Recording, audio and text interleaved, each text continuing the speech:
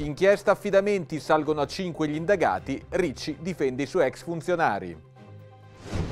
Torrente di Ancona per il terzo anno eletto miglior ospedale pubblico d'Italia. Ruderi che si sgretolano dopo il San Benedetto transennata anche la chiesa delle Zoccolette. Nella zona mare di Pesaro si smontano ruota panoramica e bosco che cammina.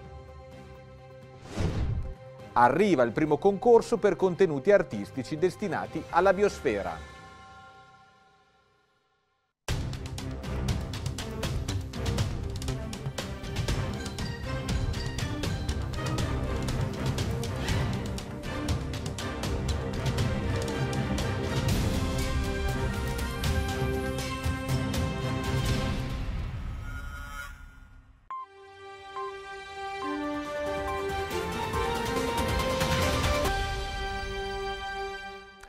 Buona serata a tutti voi telespettatori e telespettatrici di Rossini TV, ben ritrovati al nostro spazio informativo serale di Rossini News.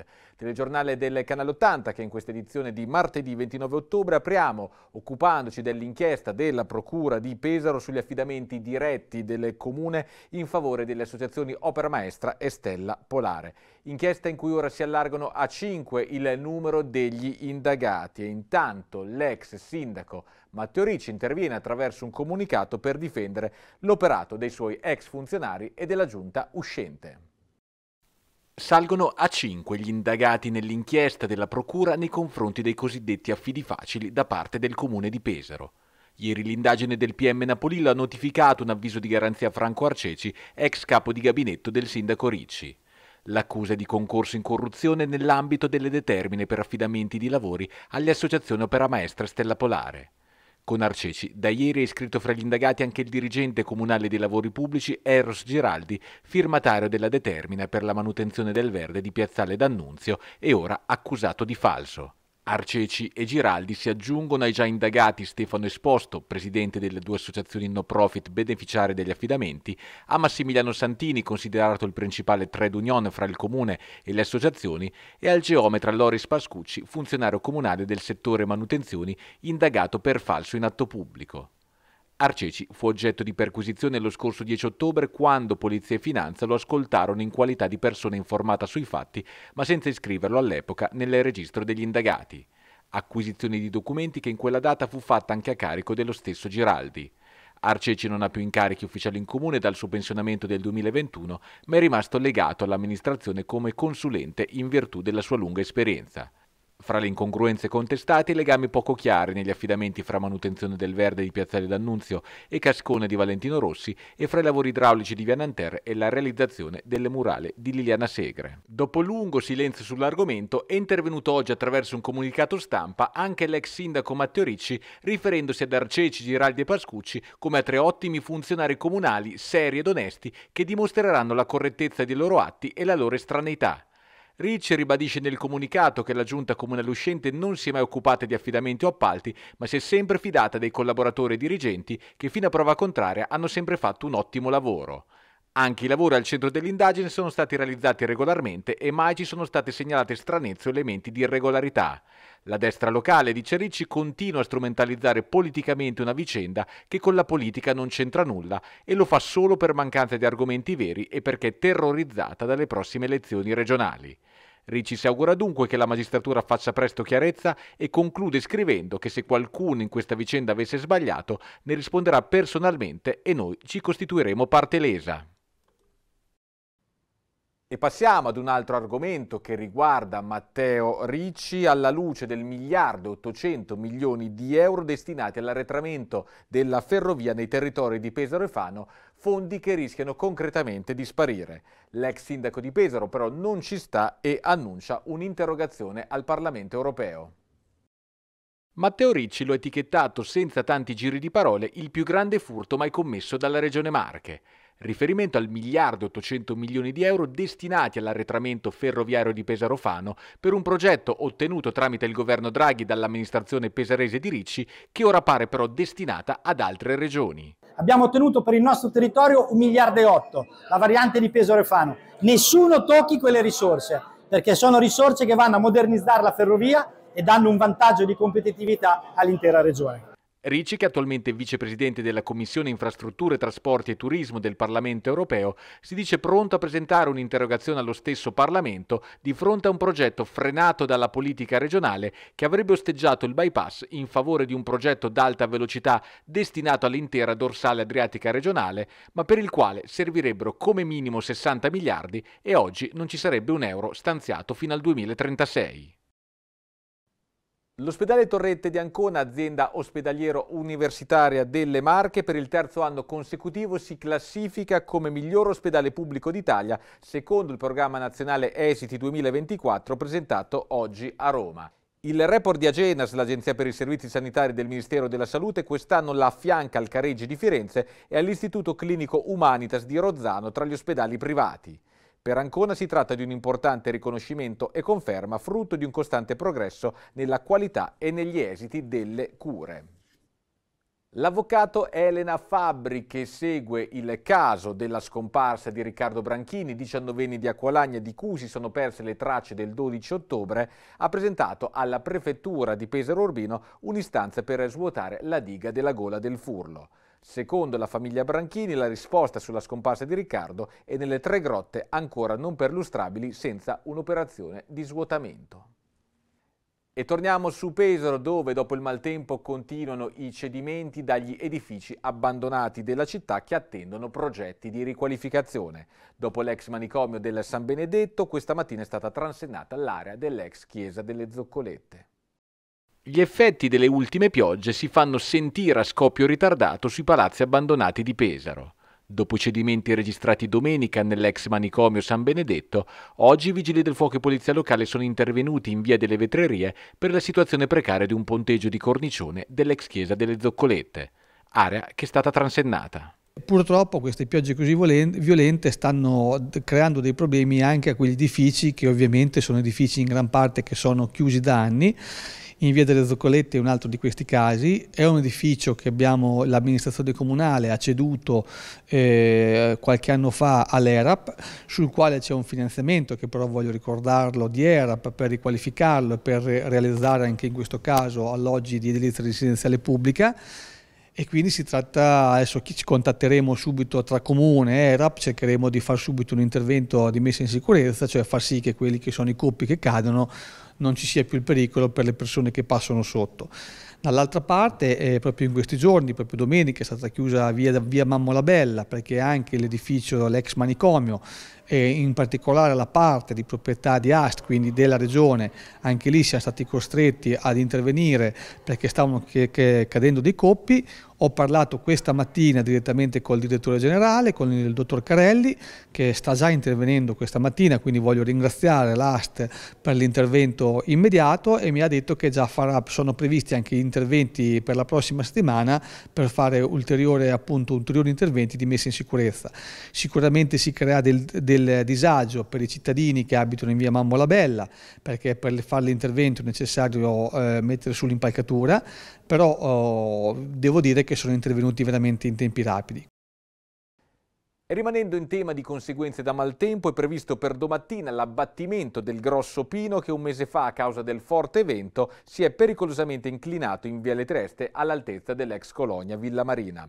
L'albero non appartiene a una specie protetta, è stato monitorato per un mese da Aspes di concerto con il comune prima di decidere per l'abbattimento. Una soluzione drastica dovuta all'estrema inclinazione del pino che ha già danneggiato e sollevato il marciapiede e anche per cause della sua posizione particolare con tubi e linee elettriche che scorrono sotto le radici impedendo l'installazione di basamenti e rinforzi. Aspes comunica che quella di domani sarà la prima di una serie di abbattimenti di alberi pericolosi per l'incolumità pubblica.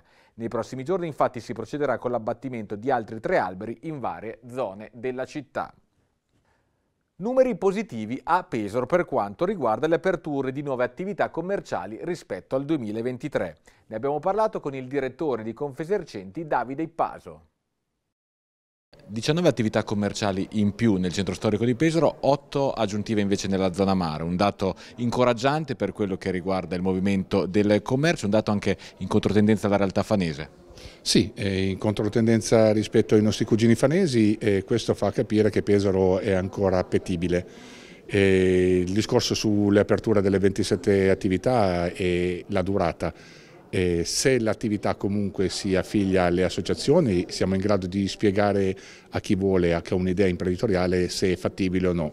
Eh, se uno fa tutto da sé le possibilità di un rischio di eh, morte prima dei tre anni che normalmente è la media di un'attività nuova, eh, il rischio è quello di perire velocemente se non fa un'indagine di mercato adatta al, al prodotto che vuole mh, immettere all'interno del mercato. Appetibilità di peso, appetibilità anche del centro storico in tal senso? Beh, il nostro centro storico è un centro storico che comunque negli anni ha mantenuto la sua vitalità con tutte le difficoltà del caso, con i lavori che ci sono, comunque il nostro centro storico è ancora vivo. E stiamo perdendo le attività autoctone e questa è l'unica cosa che ci preoccupa, anche perché gli affitti nel centro sono elevatissimi e, e, solo chi è che è padrone dei muri è in grado di poter resistere. Se invece hai un affitto che è un, è un capestro al collo è difficile perché poi alla fine dell'anno sono soldi e hanno aperto molti franchising e questi comunque portano eh, vita e questo ci, ci fa ben sperare per il futuro. Ed è partita la fase di smontaggio della ruota panoramica di 35 metri che per il secondo anno ha stazionato nei giardini adiacenti alla palla di Pomodoro. La ruota è stata un'attrazione permanente dalla metà di marzo ad oggi e come da previsione smobilita nelle weekend di ogni santi. Ancora da valutare il suo ritorno in città per il 2025. Ed oggi è stata completata anche la rimozione dell'installazione itinerante Bosco che cammina che da luglio è stata presente in Viale Marconi affiancata all'Auditorium Scavolini. I 100 vasi di alberi che rappresentano il significato dell'importanza del verde in luoghi cementificati conclude dunque il suo viaggio con la messa a dimora degli alberi negli spazi dell'alberghiero Santa Marta. Senza il bosco che cammina cambierà la viabilità in Viale Marconi che sarà nuovamente percorribile dalle auto a senso unico da Viale dei Partigiani verso la statale. Nella parte di strada al lato auditorium è previsto un piazzale per la convivialità che aumenterà lo spazio pedonale rispetto all'attuale marciapiede. Lungo Viale Marconi rimarranno a disposizione nove parcheggi. E arriva anche il primo concorso per artisti, creativi e designer chiamati a realizzare contenuti da destinare alla biosfera. Vediamo. Per gli ultimi due mesi di permanenza della Biosfera in Piazza del Popolo, Pesaro 2024 lancia la prima edizione delle Biosfera Prize, un concorso unico al mondo che chiamerà raccolta creativi, artisti, designer e musicisti a realizzare nuovi contenuti di opere audiovisive specifiche che esplorino con la biosfera la connessione fra natura, arte e tecnologia che è stata il filo conduttore dell'anno di Capitale della Cultura e della biosfera stessa. Entro il 15 dicembre andranno recapitate opere audiovisive di un massimo di 6 minuti con una preview di 2 minuti. Il concorso, supportato dalla Casa delle Tecnologie Emergenti, consentirà ai partecipanti di cimentarsi con intelligenza artificiale, machine learning e simulazioni generative 3D. La giuria, composta da esperti nominati da Fondazione Pescheria, premierà il vincitore con 4.000 euro e attribuirà tre menzioni speciali con un premio monetario di 500 euro. Le opere saranno presentate durante la cerimonia di chiusura di Pesaro 2024. Questo ci permetterà nei tempi poi della realizzazione del concorso di dotare innanzitutto la, eh, diciamo, la, la biosfera di una, di una, nuova library di contenuti che possa essere utile sia per i mesi ancora di permanenza nell'anno previsto in Piazza del Popolo che anche nelle nuove sedi cui si deciderà poi di andare a collocare o a fare circuitare la, la biosfera. Eh, allo stesso tempo è anche un'occasione diciamo, internazionale per singoli artisti creativi, ma anche per università, per centri di ricerca, un po' come è stato anche con il fortunatissimo concorso della Sonosfera, che poi è arrivato a coinvolgere anche eh, l'IRCAM, il Centro Pompidou di Parigi. Pensiamo che allo stesso modo diciamo, un, lo strumento biosfera possa diventare una tela digitale eh, audio-video su cui poter richiamare appunto artisti da tutto il mondo a cimentarsi, dando quindi una nuova centralità a Pesaro e quindi anche un elemento di rilancio naturalmente che va oltre i mesi della capitale della cultura. Taglia il traguardo della 65esima edizione la stagione concertistica dell'Ente Concerti di Pesaro, un programma che inizierà il 17 di novembre con la performance di Rafael Gualazzi sarà Rafael Gualazzi ad inaugurare la 65esima stagione concertistica dell'Ente Concerti che partirà il 17 novembre al Teatro Rossini. L'artista Rubinate proporrà nell'occasione alcuni brani tratti dai suoi ultimi progetti Dreams e Dreams in Jazz, oltre ai classici della sua carriera e rivisitazioni internazionali. Proponiamo un cartellone molto ricco, con orchestre sinfoniche, grandi solisti e un repertorio che abbraccia eh, tantissime tendenze musicali del mondo di oggi, comprendendo in queste anche il jazz, eh, la canzone d'autore e il fatto poi che apriamo proprio con eh, Raffaele Gualazzi eh, dimostra proprio questa nostra volontà di allargamento a un pubblico anche di giovani e comunque un pubblico crossover attraverso i vari linguaggi della musica. Certo il focus rimane sempre la grande musica classica perché è un pochino quello che ci caratterizza e caratterizza la nostra storia ed è per questo insomma che abbiamo creato nel corso del tempo un pubblico molto affezionato. Quest'anno è, è l'anno dei pianisti. E e dell'anno della Filarmonica Marchigiana che collabora con noi da sempre e che ehm, accoglie le nostre proposte. E I pianisti propongono concerti per pianoforte e orchestra del repertorio classico tradizionale.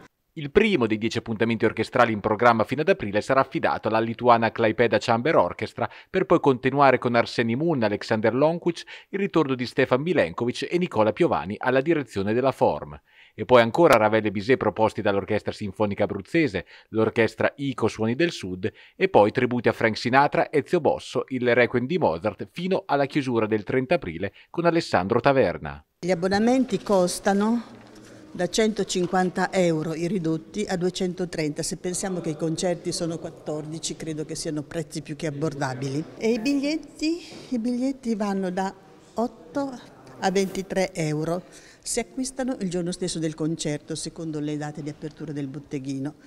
8 euro i costi, sono i costi più bassi, ridotti, 23 euro il biglietto intero nei primi posti. Si conclude qui questa edizione del nostro telegiornale Rossini News, però continuano gli spazi informativi d'approfondimento sulla nostra emittente, a cominciare da quello che vi proponiamo subito dopo il TG alle 20, il nostro speciale dedicato a professioni in evoluzione, ridefinire il futuro del lavoro, un convegno tenutosi il 25 ottobre presso l'Hotel Charlie di Pesaro, organizzato da Baciardi Partners, ASLA e LCA. Appuntamento dunque alle 20 a seguire alle 21.20 come ogni martedì appuntamento con Cultura, Territorio e Impresa, ottava puntata che approfondirà le figure del, di Antonella Storoni dello studio Selva Storoni e di Roberto Bartolini di Roberto Bartolini Studio.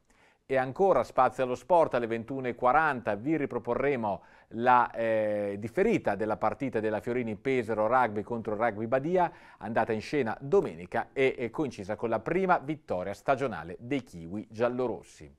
E poi naturalmente vi ricordo che l'informazione su Rossini TV torna puntuale domattina in diretta a partire dalle 7.20 con la rassegna stampa dei quotidiani locali che per l'occasione sarà condotta dal nostro Paolo Pagnini. Si chiude invece qui lo spazio informativo serale di Rossini News. Vi ringrazio per averci seguito e vi auguro un buon proseguimento di serata in compagnia dei nostri programmi.